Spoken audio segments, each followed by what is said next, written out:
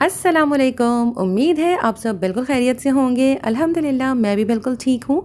आज मैं आप लोगों के लिए एक मज़ेदार और चटपटी सी मेमनी स्टाइल काले चने की चाट की रेसिपी शेयर कर रही हूँ। बनाने में बहुत ही आसान है। रेसिपी स्टार्ट करने से पहले अगर अब तक आपने मेरे चैनल को सब्सक्राइब नहीं किया तो प्लीज़ सब्सक्राइब कर लीजिए। तो आइए शुरू करते हैं। चनों में डालने के लिए सबसे पहले मैंने दो तलहार मिर्च ली हैं और इसे मैंने आधे घंटे के लिए गर्म पानी में सोक करने के लिए रख दिया था ताकि ये थोड़ी सॉफ्ट हो जाए। अब मैं इसकी स्टेम्स को रिमूव कर रही हूँ और इसके सीड्स रिमूव कर रही हूँ। अब इसकी चटनी बनाने के लिए मैंने जार के अंदर दो तलहार मिर्च ऐड कर दी हैं। दो टेबल स्पून के बराबर लहसुन के जवे ऐड किए हैं और साथ ही एक चाय का चम्मच ज़ीरा और एक खाने का चम्मच लेमन जूस या फिर आप सफ़ेद सिरका ऐड कर दीजिए और इसे पीस कर इसकी चटनी तैयार कर लीजिए। साथ ही मैं कुकिंग से पहले ही बेसन का घोल तैयार कर कर रख रही हूँ। मैंने एक टेबल स्पून बेसन लिया है और इसे थोड़े से पानी में अच्छी तरह से घोल लिया ताकि तमाम गुठलियाँ ख़त्म हो जाएँ। इसके बाद मैंने इसमें मज़ीद पानी ऐड कर कर इसकी कंसिस्टेंसी को थोड़ा सा पतला कर लिया है। अब पैन में मैंने ऐड किया है एक चौथाई कप तेल और इसके अंदर 10 से 12 कड़ी पत्ते शामिल कर दीजिए। मेरे ड्राई कड़ी पत्ते हैं, इसलिए मैंने थोड़ी ज़्यादा क्वांटिटी ऐड की है।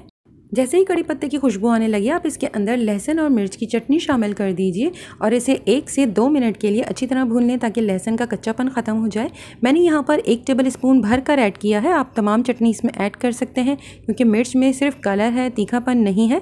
मसाला जब अच्छी तरह से भुन गया, तब मैंने इसमें ऐड किया है तीन चौथाई कप इमली का पल्प। साथ ही इसमें मैं ऐड कर रही हूँ एक चाय का चम्मच नमक, एक चाय का चम्मच भुना कुटा ज़ीरा एक चाय का चम्मच लाल मिर्च पाउडर, एक चाय का चम्मच भुना कुटा धनिया, तीन चाय के चम्मच चीनी, आप इसकी जगह गुड़ या ब्राउन शुगर का भी यूज़ कर सकते हैं, और एक चाय का चम्मच चाट मसाला पाउडर।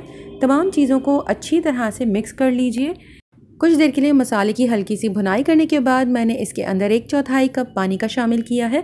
उसे भी अच्छी तरह मिक्स करने के बाद मैंने इसे कवर कर कर स्लो फ्लेम के ऊपर एक मिनट के लिए कुक कर लिया था। एक मिनट के बाद मैंने लेड हटाई है और इसे बस हल्का सा मिक्स किया है और अब मैं इसके अंदर शामिल कर रही हूँ एक पाव उबले हुए काले चने। मैंने काले चनों को रात भर सोडा मिलाकर भिगो कर रख दिया था और सुबह मैंने दोबारा से इसे वॉश किया है और फ्रेश वाटर के साथ इसे बॉईल कर लिया है। साथ ही इसमें मैंने तीन दरमियाने साइज़ के आलू भी ऐड कर दिए हैं, जिन्हें छोटे पीसेज में कट किया था और इसे मैंने नमक के साथ बॉयल कर लिया है। चनों में भी मैंने बॉईल करने के बाद थोड़ा सा नमक शामिल कर दिया था। आलू और चनों को अच्छी तरह से मिक्स करने के बाद साथ ही मैंने इसके अंदर ऑरेंज फ़ूड कलर ऐड कर दिया है। आप जर्दे का रंग भी ऐड कर सकते हैं और अगर इसे ओमेट करना चाहें तो वो भी कर सकते हैं। एक दो मिनट तक अच्छी तरह से कुक करने के बाद अब मैं इसके अंदर घुला हुआ बेसन ऐड कर रही हूँ। बहुत थोड़ा थोड़ा कर कर आपको इसके अंदर बेसन ऐड करना है और इसे कुकिंग करनी है। आप एक साथ पूरा मिक्सचर इसमें ऐड नहीं करेंगे, अदरवाइज़ बहुत थिक ग्रेवी सा बन जाएगा।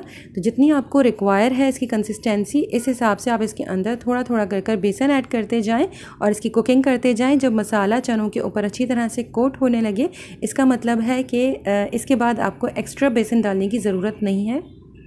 मज़ेदार से काले चने बिल्कुल रेडी हैं। अगर आप पसंद करते हैं तो इसमें स्लाइस में कट करके प्याज भी शामिल कर सकते हैं। एक दरमियाने साइज़ का प्याज ले लीजिए और उसे इसमें ऐड करने के बाद सिर्फ़ थर्टी सेकेंड्स के लिए इसे कुक कीजिएगा। ऊपर से बहुत सारा हरा धनिया डालिए और इसे मिक्स कर लीजिए। अगर आप इसमें प्याज ऐड कर रहे हैं तो थोड़ा सा एहतियात कीजिएगा, क्योंकि फिर इसकी शेल्फ़ लाइफ ज़्यादा नहीं रहेगी और प्याज में स्मेल हो सकती है।